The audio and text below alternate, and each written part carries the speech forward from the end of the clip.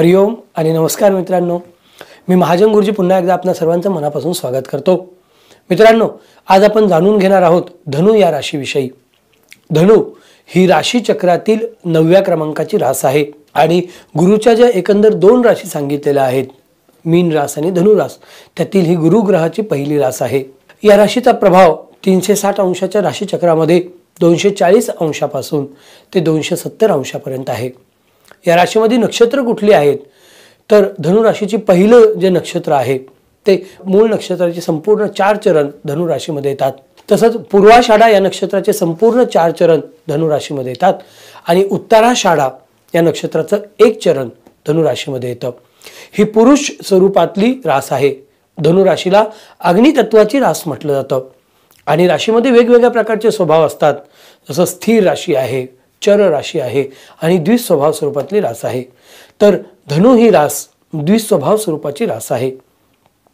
या राशीचं बोधचिन्ह कसं आहे? तर कमरेखाली अश्वाकृती असणारा धनुर्धारी मानव अर्थात धनुष्यावरती बाण लावलेला मनुष्य हे या राशीचं बोधचिन्ह आहे. धनुराशीचा मालक कोण आहे?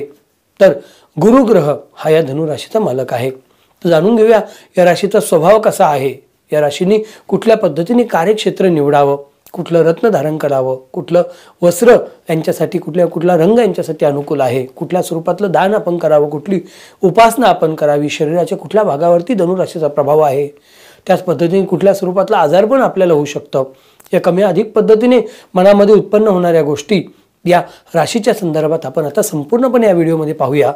नेहमीप्रमाणेच माझी आपणाला विनंती आहे की हा आपण व्हिडिओ शेवटपर्यंत जरूर पहा. गुरुग्रह उत्पन्न असल्याकारणानं किंवा गुरुग्रह ह्या राशीचा मालक असल्याकारणानं स्वभाव वैशिष्ट्य काय आहे?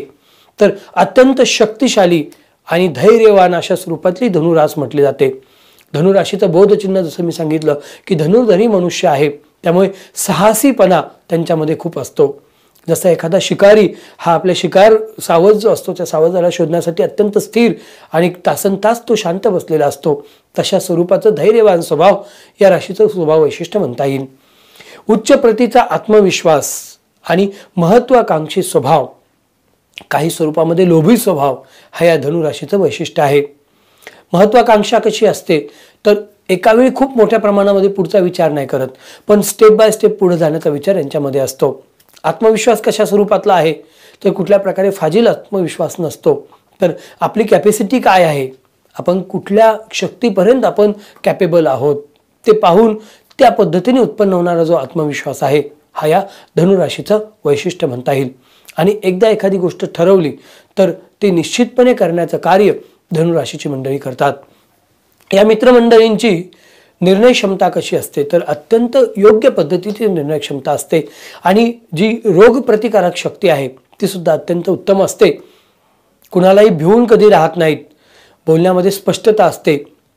विचारपूर्वक निर्णय घेण्याचं कार्य हे मंडळी करत असतात.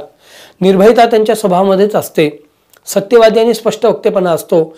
मनामध्ये एक आहे आणि बाहेर दुसरंच दाखवायचं आहे असा स्वभाव त्यांचा नसतो. जे पटत नाही ते स्पष्टपणे सांगतात. जे पडतं तेही धनुराशीची मंडळी योग्य पद्धतीने समोरच्याला सांगण्याचं कार्य करतात. धनुराशींच्या मित्रांना प्रवासाची खूप मोठ्या प्रमाणात आवड असते. अध्यात्मवादी ही मंडळी असतात धार्मिक स्वरूपातली मंडळी असतात. उत्तम प्रतीची आकलन क्षमता त्याच्यामध्ये असते. त्यामुळे उच्च शिक्षणाचे योग असतील किंवा काही अडचणीमुळे शिक्षण कमी झालं आहे परंतु जे व्यवहार ज्ञान आहे ते व्यवहार ज्ञान मात्र त्यांचं कधीही कमी नसतं. आणि जे काही शिक्षण घेतलेलं आहे ते कुठल्या पद्धतीने कुठल्या ठिकाणी वापरावं त्याचा कशा पद्धतीने आपल्या भल्यासाठी आणि आपल्या फायद्यासाठी वापर होईल हे पाहण्याचा प्रयत्न ही धनुराशीची मंडळी निरंतर करत असतात. मी जसं सांगितलं की यांच्यामध्ये आत्मविश्वास खूप चांगला आहे. त्याच पद्धतीने निश्चय स्वभाव त्यांचा असतो. एकदा एखादी गोष्ट ठरवली तर ती त्या गोष्टीला धरूनच राहतात. थोड्याशा स्वरूपामध्ये जाज्वल्य स्वाभिमान त्यांच्यामध्ये असतो. एखाद्या गोष्टीविषयी मग तो देशाचा असेल देवाचा असेल धर्माचा असेल किंवा अगदी छोटे छोटे अगदी छोट्याशा गावाचा सुद्धा असेल आपल्या आडनावाचा असेल अशा गोष्टीचा स्वाभिमान त्यांच्या मनामध्ये असतो. धनुराशीची मित्रमंडळी ही तत्वप्रधान असतात तत्वाला मान्यता देणारी असतात आपली अस्मिता जोपासणारी असतात. एखाद्या ठिकाणी जर आपला अपमान होत आहे तर त्या ठिकाणी ती परत कधीही जात नाहीत. किंवा त्या अपमानाचा बदला घेतल्याशिवाय सुद्धा राहत नाहीत. थोड्या अधिक प्रमाणामध्ये अन्यायाविरुद्ध लढण्याची वृत्ती त्यांच्यामध्ये असते. अन्याय सहन न करणं हे सुद्धा एक धनुराशीचं खूप मोठं स्वभाव वैशिष्ट्य आहे. निस्वार्थी स्वभाव आहे परंतु आपला स्वतःचा स्वार्थ भागवून सुद्धा जर दुसऱ्याचं भलं होत असेल तर अत्यंत सोप्या पद्धतीने मार्ग करायला किंवा मदत करायला ही मंडळी तयार असतात. धनुराशींच्या मंडळींना एखाद्याशी मित्रत्व कशी वाढवावी आणि मित्रत्व वाढवून आपलं स्वतःचं कार्य कसं साधून घ्यावं हे अत्यंत सोप्या आणि साध्या पद्धतीने जमतं. ही मंडळी काय करतात? तर आपल्या समवेत जी मंडळी आहेत त्यांचा कुठलं कार्यक्षेत्र आहे त्यांचं स्वभाव वैशिष्ट्य काय आहे हे जाणून घेणं आणि त्याप्रमाणे आपलं कार्य बनवणं किंवा त्याप्रमाणे त्यांच्याशी आपलं नातं नातेसंबंध डेव्हलप करणं हे या मंडळींना अत्यंत सोप्या पद्धतीने जमत असतं. धनुराशी ही गुरुची रास आहे. त्यामुळे सरस्वतीचा उत्तम प्रसाद या मंडळींना लाभलेला असतो. किंबहुना त्यांच्यावरती खूप मोठी कृपा सरस्वतीची असते. क्षत्रिय बाणा असतो कारण धनुष्याला बाण लावलेला आहे. आणि बोलणं सुद्धा त्या बाणाप्रमाणेच असतं. एकदा एक शब्द गेला तर त्या शब्दावरती ते कायम राहतात. भारदस्त व्यक्तिमत्व या मंडळीचं असतं. वात्सल्यपूर्ण स्वभाव यांचा असतो. थोडेसे नम्र असतात बुद्धिवान असतात समंजस असतात. बोलकेपणा यांच्यामध्ये असतो. विनोदी वृत्ती खूप चांगली पद्धतीने असते. उत्तम प्रकारचं नियोजन ही मंडळी करू शकतात. वेगवेगळ्या संस्थाचे प्रमुख म्हणून ही मंडळी राहू शकतात. किंवा वेगवेगळ्या धर्मक्षेत्रामध्ये कार्य करणारी मंडळी धनुराशीची असू शकतात. मात्र आपलं जे व्यक्तिमत्व आहे त्या व्यक्तिमत्वाचा समोरच्याला त्रास होणार नाही हे सांभाळण्याचं भान या मंडळीमध्ये असतं. बुद्धिमान असतात समंजस असतात परंतु समंजसपणा सुद्धा एका क्षमतेच्या नंतर एका लिमिटच्या नंतर या मंडळींचा कुठल्या ना कुठल्या प्रकारे तोल जाऊ शकतो. बोलकेपणा यांच्यामध्ये असतो परंतु बोलत असताना सुद्धा आपल्या बोलण्याचा समोरच्याला त्रास कसा होणार नाही? किंवा एखाद्याचं काही व्यंग असेल किंवा एखाद्याचं काही मर्म असेल एखाद्याची काही गुप्त गोष्ट असेल ती प्रगट न करण्याचं कार्य ही धनुराशीची मंडळी करत असतात. जसं मी सांगितलं की धनुराशीत ही संपूर्ण स्वभाव वैशिष्ट्य आहेत. आपला स्पष्ट वक्तेपणा असेल किंवा स्पष्ट बोलणं असेल हे बोलणं कधीकधी मित्रपरिवारामध्ये किंवा आपल्याच कुटुंबामध्ये काही लोकांना आवडत नाही रुचत नाही त्यामुळे वैमनस्य उत्पन्न होत असतं. या गोष्टीवरती जर आपण कंट्रोल करण्याचा प्रयत्न केला हा अवगुण एक टाळण्याचा प्रयत्न केला तर आपण अत्यंत उत्तम कार्य करू शकता. धनुराशीची मंडळी ही मुत्सद्दीपणामध्ये काही ना काही कारणाने कमी पडत असतात. मात्र त्यांना अतिशयोक्ती करणं वायफळ बळबळ करणं किंवा वचनपूर्तता न करणं या गोष्टी कधीही आवडत नाहीत. जी एखादी कमिटमेंट केली असेल तर त्या कमिटमेंटप्रमाणे चालणं त्या कमिटमेंटप्रमाणे वागणं आणि त्यावरती कायम राहणं हे धनुराशींच्या मित्रमंडळींना निश्चितपणे आवडत असतं. या राशीचा शरीरावरती कुठे प्रभाव असतो? तर आपल्या मांड्या असतील किंवा मांड्याचे स्नायू असतील रक्तवाहिन्या असतील या सर्व गोष्टीवरती त्यांचा प्रभाव असतो. मित्रांनो धनुराशीचं आरोग्य किंवा आजारपण कसं असेल हे आपण जाणून घेण्याचा प्रयत्न करूया. धनुराशीचा जो प्रभाव आहे हा शरीराच्या वेगवेगळ्या भागावरती उत्पन्न असल्या कारणामुळे स्नायूपासून उत्पन्न होणारे आजार असतील किंवा रक्तवाहिन्यांचे विकार असतील हे असू शकतात. किंवा गुरुचं वैशिष्ट्य काय आहे तर गुरु हा वाढत जाणारा आहे. त्यामुळे शरीराचा जो भाग वाढतो किंवा आधी वाढल्यामुळे जसं नाकाचं हाड आहे किंवा पायाच्या टाचेचा भाग आहे ह्या गोष्टीचे हाड वाढल्यामुळं विनाकारण उत्पन्न होणारे आजार किंवा अपेंडिक्ससुद्धा शरीरातला वाढ झाल्यामुळे उत्पन्न होणारा आजार आहे ह्या अशा स्वरूपातल्या आजारपणाकडे विशेष करून लक्ष देणं गरजेचं आहे.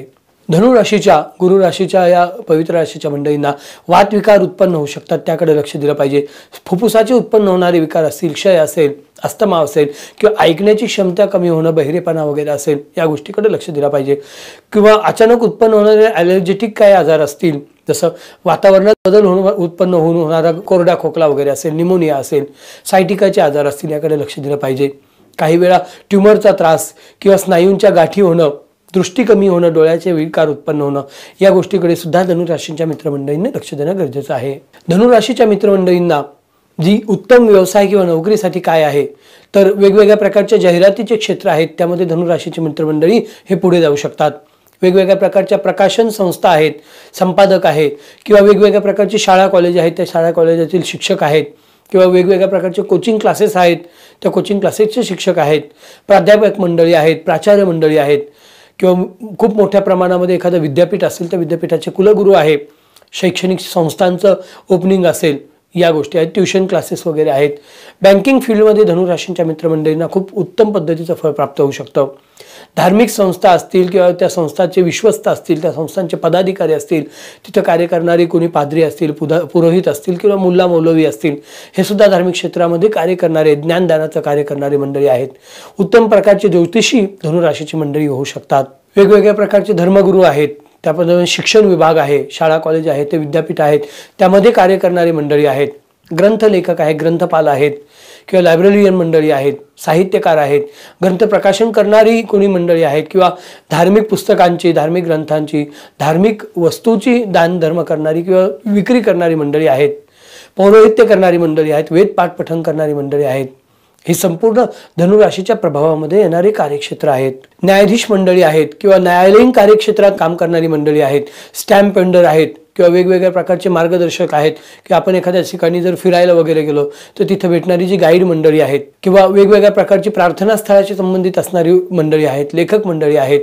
त्याच पद्धतीने सांस्कृतिक कार्य हे गुरुच्या संबंधात येत असल्याकारणानं सांस्कृतिक कार्य विभागामध्ये कार्यरत असणारी मंडळी आहेत.